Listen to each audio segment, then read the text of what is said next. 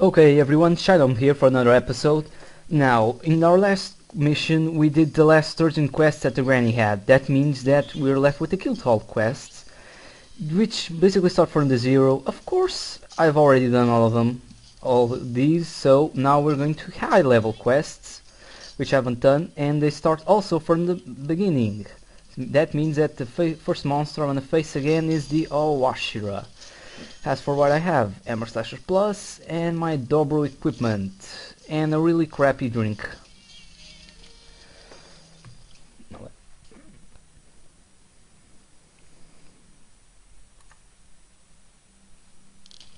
Okay, no skipping today. Probably you know why, because this is a high level quest. That means I get randomly placed somewhere in the map. Now, where could that Aoashira be? Okay, found him, and as I expected, no more cinematics. This is a high level quest, it means this guy is stronger. It also means this is the strongest washer there is, and none of them stronger. And because of that, and I want to keep these episodes small, and oh my god, I've never seen such a big Aoashira. This is definitely gold crowned, or silver at least. because of that, I want to show you what I consider to be the easiest way of defeating this guy. Now, as for the weapon, my ideal weapon to defeat this guy is the switch axe. Why? Well, you want a lot of damage. Of course, that means you can either use the long sword or the switch axe, but unfortunately the long sword, it's the Oshir's moves are harder to evade with the long sword. Because the, all the jump, the mid combo jumps are a bit weird.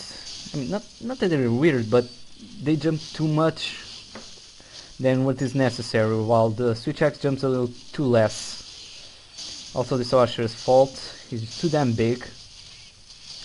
Oh, an interesting thing I haven't showed you about the Aoashira, and I probably won't be showing you, is that, is that he has a special attack. You know, like the Raytheon when he grabs you, or the Gigginox, and you have to start circling around this button like this. I don't remember the joystick, right? And Joshua actually has one, but it's nearly impossible. In all the 20 or something Aoashiras I've faced, I've only been hit by it once. He literally does, as expected from a bear, a bear hug. He does a bear hug and he starts shaking you around. It's actually pretty annoying, but doesn't really deal much damage. Okay, time to start, time to start focusing on here on the fight. The Hammer Slasher I forgot to say in the last episode and I'm almost about to forget to say it, is that I remember it from Monster Hunter 3. It was one of my favorite weapons. This and the Twin Fire long sword, which I'm gonna show you. My, okay, that third jump, awesome. And the Twin Fire Wyvern, something like that, long sword, which I'm gonna show you in about two episodes. Sorry for the spoil there it's pre it's pretty damn awesome and everyone has one in Monster Hunter 3 so it's been adapted to this game too so. The special actually I choose this switch because it's the only one I have that's already rarity 4 hate when this guy does this. Uh, initially I thought it would be useless because my prediction was that this guy had at least plus 3 or plus 4 ice resistant turns out he has minus 2 so this is his second weakness. First one being fire. Okay. Now I'm safe.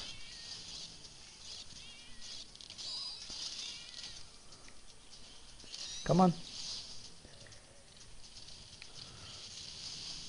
Oh right. Forgot the comrades uh, what happens is that the other two guys are already level 20, so there's really no much point in bringing them to quests if they aren't going to level up. Just so they can help me with the quest, I much rather level up other guys. These two are actually level, I don't know, what, 4 and 6 something? They're here with their Urigan armors. Go Crucius! This guy's too big. A regular size Oshi wouldn't be able to hit me with that. I won't be able to hit at least half those hits. Come on.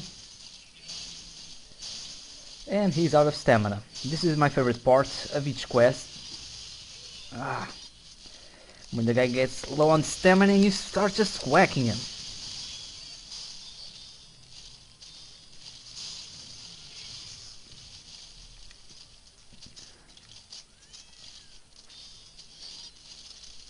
Forgot to paint him as always. Won't be much trouble. He won't go far.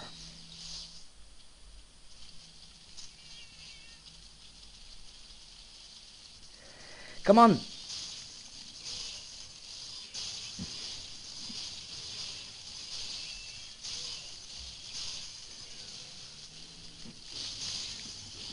This move has a weakness. His forward claws have a very small range. No, not range, angle. So if you jump a bit to the side, it's very hard for him to hit you. Like you do 90 degrees on him and he'll never be able to hit you. Come on, get up. Another funny thing I found out about the Oasher is that if there's honey somewhere and you try to grab it, the Oasher will stop moving and go immediately attack you. If he's in the same area, of course. So, I guess everyone, this is the end of this quest. I'm gonna take this extra time sh to show you some new things. So, hope you enjoyed this very easy fight. This is the strongest Oasher there is, and he just got pwned, so... Too bad.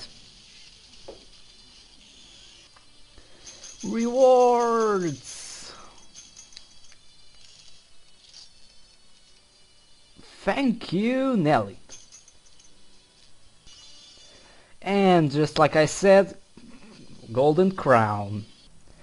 Okay guys, welcome to my humble chateau. I actually think this is no one of the first times I've shown. I've shown it in other videos, but I haven't really shown it in detail. These are my cats, Nelly and Crucis, which I used. Oh, 18 and 12. They leveled. Invictus and Spartacus already very high level, and I also have Photo and RPD each at level 20. Also train them. Just to have very weird training programs. Maybe I'll show it later if I have enough time. This is their equipment, which I can make out of scraps, which are made whenever I do my armors and weapons. And let me show you everything here. I haven't ever showed you this. The items, of course, you probably already know all of these, all these too. The scraps, really nothing special here. So I'm gonna show you the equipment. Now, great swords, no. Long swords, a very nice amount. This is the one I was talking to you about. Everyone in Monster Hunter 3 has one. I have one too. And here I have one too now. Since it's made from Genmora. So, but still, what I want to show you, and most important here, is this. The skill sets are really awesome. Number one, they gave you 45 sets, that's a lot. And more important, well, as you can see right now I have attack up large, Rune and Adrenaline plus 1.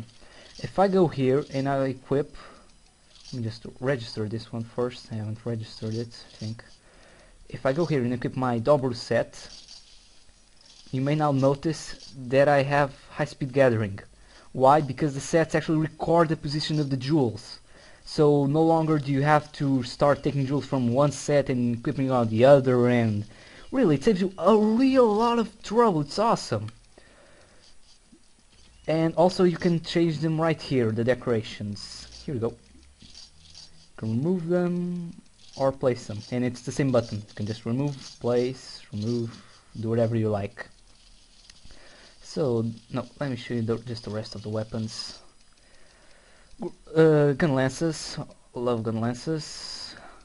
Switch axes, a real large amount of switch axes. Light bowguns. This one I've used a lot, haven't shown in any of my videos I think.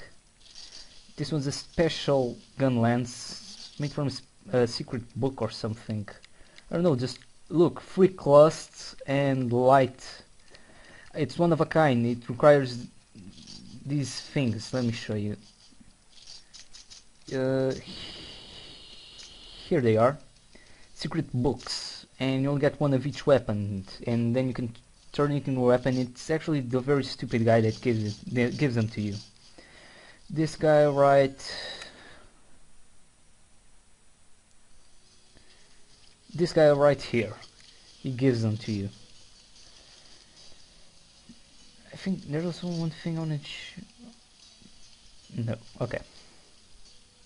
Already done all for quests except for this one, which I'm going to save it for last because I'm really expecting it to be very, very, very hard. Like the Monster Hunter quest in Monster Hunter Freedom Unite, you can barely use it even with end gear equipment. And now let me so show you my cat's training. There are special trainings which you buy from that guy with, uh, with Yakumo points and let me show them to you. Okay, someone's not doing what they're supposed to do. Marathon, no.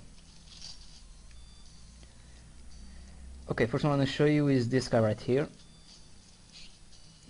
Right here. Yeah, don't speak uh, whatever language that is. Japanese, I believe. Aren't you going to do something? Guess not. Cruises right here is doing rock climbing. Let's just see how that goes.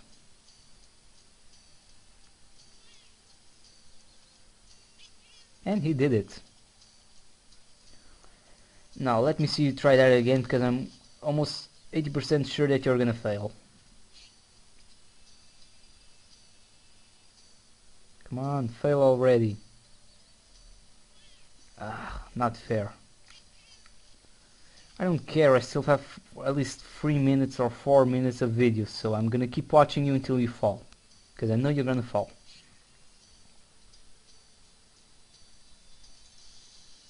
And he fell! There you go. Mining points. This is the brand new mining point I got after being able to go to high level quests. Carbonate ore, which is the most valuable ore right now. There are actually three types of enhanced spheres. The one for Machalite, the one for Dragonite, and the one from Carbalite. So I'll show you how I run through this place. I was mining these two places. Now, not gonna go there yet because I still need my shrooms. Shrooms. Now I can go here two best guys here in pickaxe room so they can go there and mine some things. Off you go, and a fail. I hate it when they fail. I really have no control over that one. This one, however, let me see if I can do it. One, two. Ah, too early. S still good. Also got a new insect tractive or whatever. What's it called? A new perfume. Royal perfume. Makes you look wealthy. I have no idea why am I running around here naked. I sent my cats on the quest, now they've returned with a lot of stuff. I'll go send them go fight an Arda. Off you go.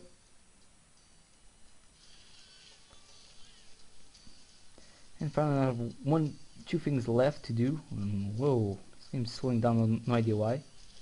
Oh, look the guys up there. Ah, no, I want to show you. All the cats have just got sent to the water, if you didn't see that. I, I always breed these kind of power seeds so they, they give me a lot of money about 3000 Z's per quest. It can really help you if you're short on money but still I always do it. Now only one thing left this. I usually do this the other way around so I go through this side and end up going back here. This is how I run through the Pokke Farm. No Yakumo Farm excuse me. We're no longer in the Pokke Village, we're now in the Yakumo Village. So with that and some eggs, I say goodbye.